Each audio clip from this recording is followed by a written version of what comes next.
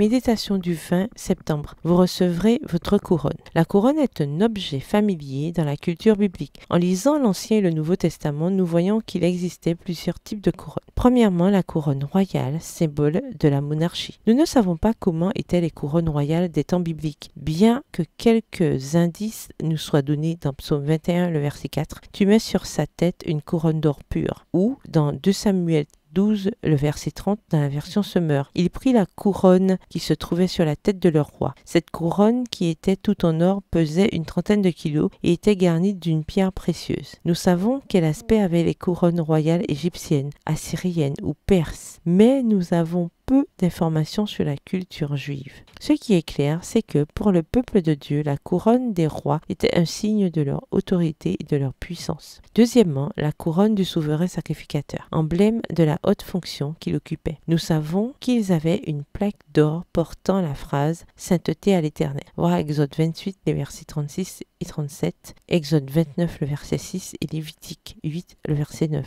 Troisièmement, la couronne de mariage, portée à la fois par les deux fiancés lorsqu'il se mariait qui consistait probablement en une guirlande de fleurs. Voir Ézéchiel 16, le verset 12. Quatrièmement, la couronne de victoire, reçue par les soldats qui revenaient triomphants de la bataille ou par les athlètes qui remportaient des compétitions. Cette couronne était constituée d'une guirlande de feuilles naturelles. Et cinquièmement, la couronne d'épines avec laquelle les soldats romains ont maltraité notre sauveur. Ils tressèrent une couronne d'épines qu'ils posèrent sur sa tête et lui mirent un roseau dans la main droite. Puis ils s'agenouillèrent devant lui en se moquant de lui et en disant Salut, roi des Juifs. Matthieu 27, le verset 29, voir aussi Marc 15, verset 17 et Jean 19, le verset 2. Mon ami, si nous sommes approuvés lors de notre passage sur terre parce que nous avons aimé Dieu, nous recevrons la couronne qu'il nous a promise. Nous régnerons avec lui sur la nouvelle terre. Nous serons un sacerdoce royal, un peuple saint. Il nous prendra pour épouse. Il nous donnera la victoire dans ce dur combat mené ici-bas, où nous aurons eu le grand honneur de souffrir avec lui et pour lui. Je pense qu'on ne peut pas en demander plus. Merci Jésus pour cette couronne qui m'attend. Verset du jour. Heureux est l'homme qui demeure ferme dans